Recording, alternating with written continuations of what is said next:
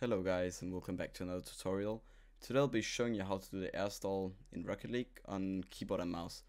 But first of all, it's very important that you have bound arrow left and arrow right to a button or you won't be able to do the air stall. So let's hop into training and I'll show you how to do it.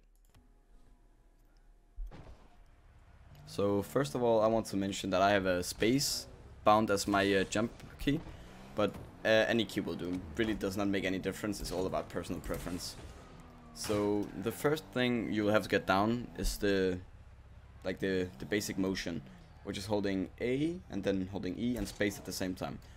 You will do this kind of spin motion, which is the same as a um, tornado spin. So if you've got that down, it should be no problem. But um, it sh should not be that that hard to learn.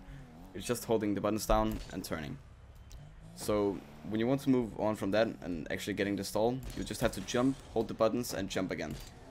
Then you'll do this stall motion, where you just stand in one place and you really don't move at all. Your car just spins.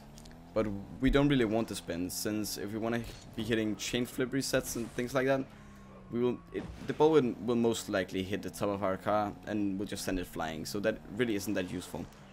So what we want is just, instead of holding all the buttons at the same time, we'll just press them. Like that. So we'll just stand midair. We, we won't like turn around. We won't do much. We'll turn a little bit but that's really not possible to do anything about since it will always happen. But the more perfect you hit the buttons the less it will turn. So if you like hit it really poorly it will just it will maybe turn a little bit but not much. And uh, a, re a really good way to practice the stalls is uh, downloading mod if you don't already have it uh, installed, and then turn on limited flips. Then you can just drive up, uh, drive up the wall to the ceiling and fall off, and then just practice the stalls. It really isn't that hard to get down. It just, it and it shouldn't really take a lot of time. It's fairly simple. So, yeah, that's basically it. But uh, if you have any any problems, any questions, you can just ask in the comments. But um, yeah, that's it for this tutorial. Uh, and see you until next time. Oh,